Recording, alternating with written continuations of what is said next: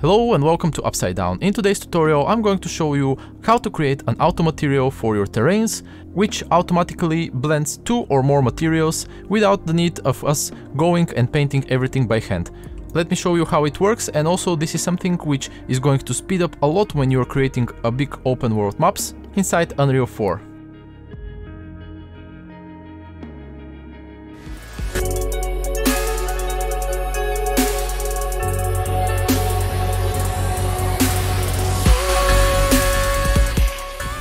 I just created a standard Unreal project without any starter packs and I'm just going to delete this and we are adding a landscape. I'll make it quite small. We don't need to have anything big. So I just do it 15 by 15, create. Just so that we have something that uh, we are going to apply our material on. And now I can just make folders for our textures and also for materials. In textures, uh, I already prepared few textures for dirt, grass and also for rocks, which we are going to use. Now in materials we are going to create a master material. And also I'm going to create three material functions, which are going to be our grass, dirt and rock material.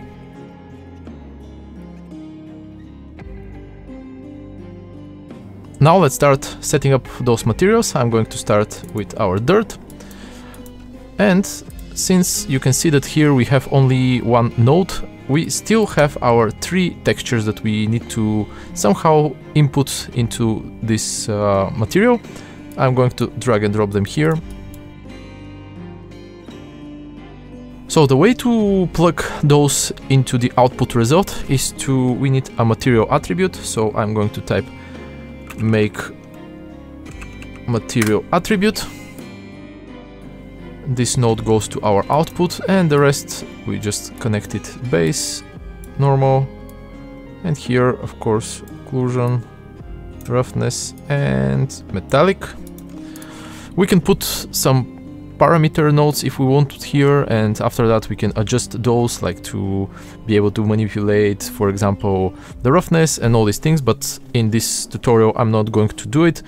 If you want to learn a little bit more I'm going to put a link in the description down below for my tutorial about Unreal 4 materials where you can learn how you can promote different parameters into variables that you can later on change.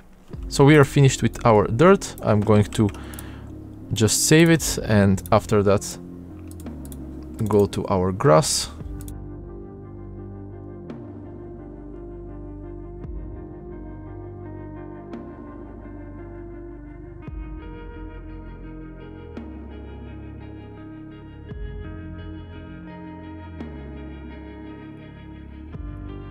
Now that our material functions are finished, it's time to open our master material, grab those three and just drag and drop them inside.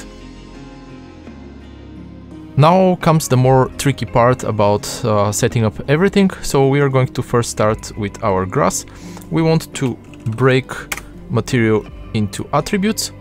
So this way we can from here take our base color and normal map and we are going to do some magic with the blendings so that it blends a little bit better.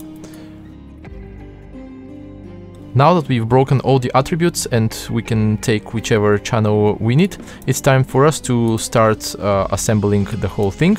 So first we are going to start from the bottom, like from the rocks and dirt, and then we are going to build the other layers on top, like for example the grass. So first thing that we are going to blend is actually our base colors. So I'm just going to type lerp, and we are taking the base color from the rock as well. Now that we lerp those two, we need to lerp also the top one. Another way to add lerp instead of typing it here is if we hold L and just click somewhere, it will automatically add lerp. This is by default in Unreal, so we are lerping those two. And this lerp already we can connect it to the material result here. Now that we connected how materials are going to lerp, we need to start giving a little bit more information to Unreal how exactly we want everything to be blended. So this is done by the alpha channel on our lerps. So we are going on the first lerp that we created. And here I'm going to drag and type world uh, align blend. What the world align blend does is basically it's uh, it's allowing us to blend materials based on shapes. And here we have a couple of parameters. We are going to go through some of them, like for example, uh, blend sharpness. This is how sharp is the blend between two materials. So we can make it like very blurred one, or it can be like very sharp uh, and so on and so on. So let's first add few parameters. Those I'm going to add them as parameters that we are going to promote. So after that we can create a material instance on our master material and easily tweak all these settings, how it's blending and all these things. So what we are doing, I'm right clicking and then we are going to parameters and what we need is scalar parameter. The first one I'm going to name it blend sharpness. And just so that we know exactly where is this blend sharpness I'm going to name that it's between the dirt and our rocks. And I'm going to give it just some base value like 20 we can already see our result here on the side. And the next one that we want to make is for the bias so I'm just going to do bias. Again dirt and rock and connect this to our blend bias. And here I'm going to put, let's say 10 as a default property. Now let's do the same thing for our other blend. I'm just going to copy and paste everything, connect it to our alpha and just going to change the naming over here. So this is our lerp between, I'm going to call it between the dirt and the grass. So it will be D and then G and on the other one as well. I will leave again the parameters on the same values because uh, anyway we are going to promote it to our instance and after that we will be able to play with those and uh, just have different result. Let's apply and save our material. I'm just going quickly to make a material instance and we are going to apply this material to our landscape. And now I'm going to just quickly test it. So we are going to landscape mode. And after that, I'll make my brush a little bit smaller. After that, I'll just paint a little bit. We can see that at the moment nothing is happening, but we already have at least some uh, height over here. So we can come to our material and I'll just make it like this a little bit smaller on the side. Uh, enable all of the blending settings that we just uh, promoted. And let's give a little bit different parameters. So let's put on here minus, uh, 10 and you can see that now everything is pretty much covered in grass but uh, we are going to fix this. So now it's a little bit better as you can see. It's not completely everywhere and then we are going to do something similar to our um, between dirt and rocks.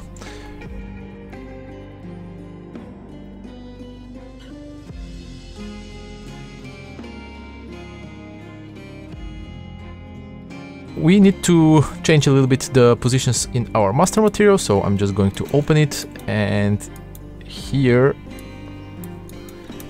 we are going to just move the grass to be on the very bottom and our rock on the place where the grass was. So we are placing the rock over here.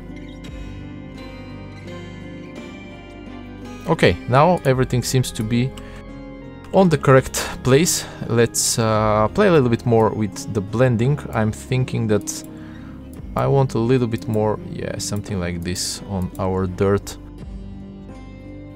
Let's uh, quickly test around.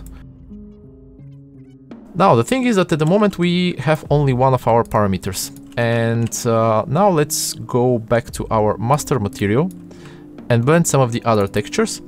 So what I'm gonna do is blend our normal map and also with our normal map I'm going to make it a little bit more interesting the blending that is happening over here. So what we're gonna do for the normal maps is use the same world alignment blend but this time I'm just going to add a new lerp over here. This one is going to go into our normal and of course we need to grab the normal maps from here so this one goes over here and then we need another lerp which is going to be from our first materials. Okay and this time instead of using the alpha channel what we're gonna use is actually our explicit normal. It goes to our alpha and the same over here. And now we need to connect this one into our A, compile and save everything. Now you can see that we have a little bit of some dirt into our stones over here and as well a little bit of the grass blending down our dirt. Let me fix the tiling and I think that uh, we are going to get a better result, much better result. So to fix the tiling we need to go to our material functions and here we just need uh, texture coordinates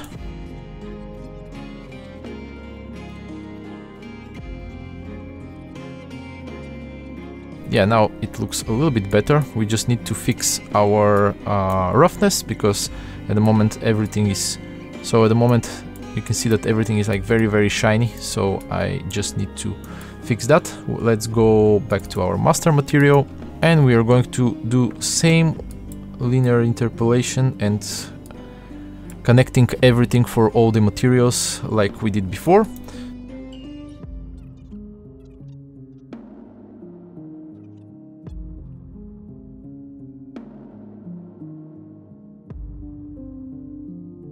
So from the stage that we are at the moment, here we can of course always add more materials, make more blending, also improve the quality of the materials inside our material functions and just add on top more and more features. Thank you for joining me in today's tutorial, leave a like and subscribe to my channel. See you next time!